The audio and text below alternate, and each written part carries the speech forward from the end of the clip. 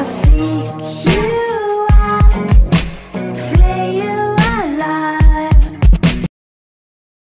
Pogo here, and welcome to the first episode of the Survival Games uh, mini-series. Now, I know that this has been a long time coming. I've been getting comments about making a series like this for a long, long time. Uh, so now we're finally going to go ahead and get started. By the end of this series, we will have a fully functioning survival games plugin uh, that will be coded from scratch. I'm not going to I might have done this in other videos where I just borrow code from other episodes and just tell you to go watch the videos, but we're going to do this all from scratch. It's going to be a little bit different than some of the other mini games, uh, just because of the nature of survival games, and then also I'm going to try to improve upon um, the ideas that I introduced in some of my other series.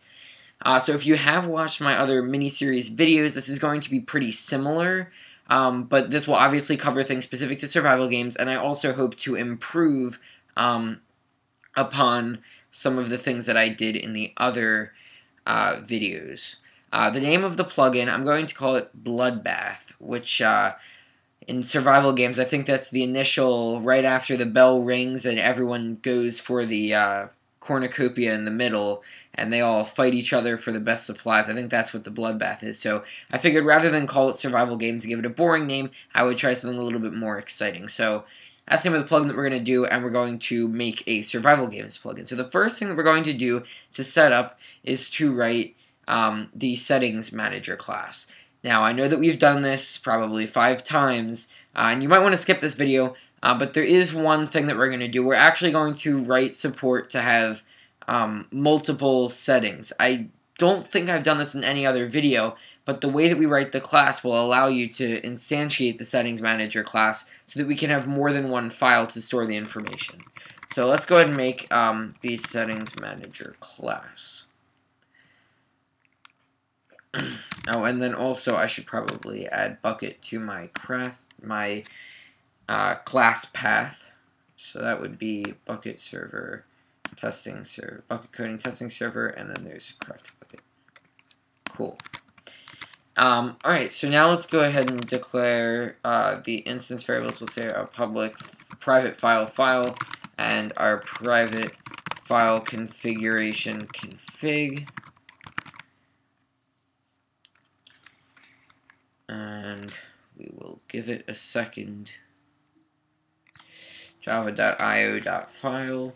And then also, let's go ahead and make our main class, which I'm just going to call main uh, because it just stands out a little bit better. And then just to make things really easy for us, I'm going to make um, a get plugin method um, that will, all it will do is return Bukkit dot get server dot get plugin manager dot get plugin um, bloodbath. Probably stylize it like that so that I can easily get access to the plugin. This is good for like if you have a schedule and you want to schedule scheduler and you want to schedule tasks or anything else that you want with the plugin. Just a really easy, you can just say main.get plugin and it's really easy and it will definitely be uh, helpful. It's just nice and simple. And if you do decide that you want to change it, if you want to have like an instance variable that you instantiate in on enable or something like that, you could change it like that as well. So we're going to go ahead and create a private constructor uh, for the settings manager and this one's going to take in a string which we'll call file name. The way that this is going to work is we're going to instantiate all of the settings managers within the settings manager class and it's sort of going to be like a singleton except it'll have multiple instances. Um, for now all we need is one uh, config file for just regular configuration stuff and then one file for all of the arenas. Um, so let's just go and write all of the methods first and then we'll get to that. So we're going to say um, file is equal to new file, which should be main.getPlugin.get, um, what was it called? Get data folder. Right there. Uh, so it's going to be in the data folder, and then the name is going to be fi file name, and then .yml. So if I say the file name is config, it'll be in the data folder, and then config.yml. So then we want to say um, if not file exists, if the file does not exist, then file dot create new file, which is going to throw an exception. Okay, so we need to put that in a try and catch. Now I'm going to be lazy and just um, have it print the stack trace, but you could also print out a message that says um, could not create new file.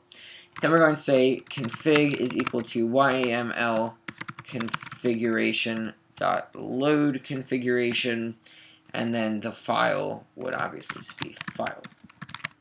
So now we load up this file right here, this file object, and then we load up the uh, configuration, the file configuration object. So now let's go ahead and write uh, a couple of methods. So we're going to have a um, method that has generics. Um, if you don't really understand this, which you might not, go watch my Java 101 video on generics. Um, it's actually pretty interesting. It's one of my favorite concepts in Java. And also, if you don't understand this, this method declaration will look a little bit confusing. Um, but we're going to give it the type parameter t, um, public t, t, um, get for string path, return t, config dot get path. So we're essentially just wrapping this um, the get method. Um, we're just wrapping all these like the get and the set methods. We're just wrapping them instead of having a get config that returns this config. We're just um, making it a little bit nicer. So then we'll have a public void set string path um, string. Actually, it would be object object, and we'll say config dot set path, and that would I should call that value because it's a um, path and then value. So we have our set. We'll go ahead and write a public boolean contains string path return config dot contains um, path. You know, these are just, we're basically just wrapping all these. And then we also want a public uh, configuration section, um, create section, string, or path, I guess. Return config dot create section. Uh, you know, we need to have this because create section is its own method. You can't like set something to be a new configuration section. So uh, we have our get method, our set method, our contains, and our create section. We might actually end up going back in here and you know adding more methods if we need to. Uh, but for now, let's go ahead and actually write our singletons. Um, so obviously this has a constructor, so we're going to um, instantiate them. So we're going to say um, private final settings manager config is equal to new settings manager config. And then we'll also do a um, arenas is equal to new settings manager.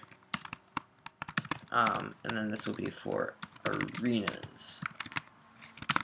So we have our, oh, and I guess I can't call that config. Um, I'll just call it configuration.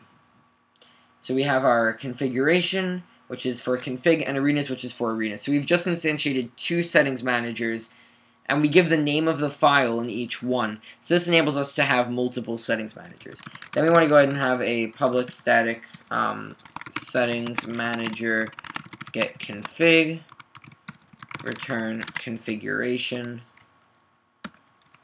And then we want our public static settings manager um, get arenas which will return arenas.